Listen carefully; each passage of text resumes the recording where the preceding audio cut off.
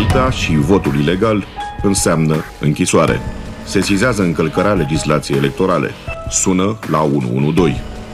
O campanie de informare susținută de Ministerul Administrației și Internelor.